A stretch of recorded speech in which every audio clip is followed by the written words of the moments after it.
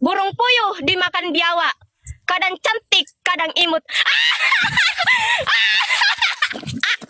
Aduh buset serepet. Tet, Nungguin ya. Happy Ganteng.